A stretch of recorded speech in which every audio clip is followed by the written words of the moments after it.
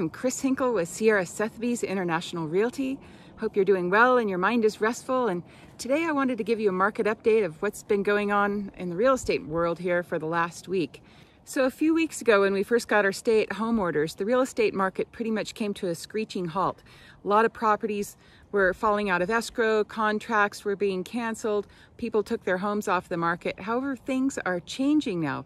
A couple of weeks ago in our MLS, we were having about one home a day going into escrow, and activity is picking up. People are listing their homes, and this week we've had pretty much two properties a day going into escrow in our MLS. So things are getting more active. So we figured out there's three main reasons why we think the market is getting more active. The first one is that people have figured out that they can telecommute to work.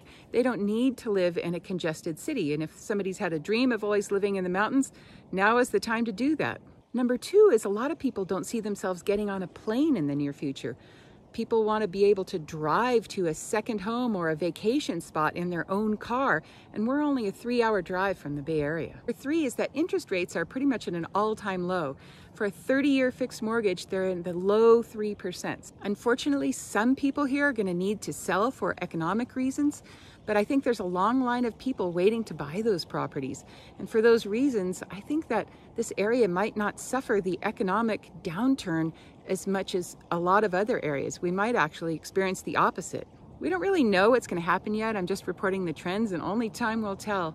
In our area, real estate is still considered an essential business, so we can do virtual tours and we can still do safe property showings.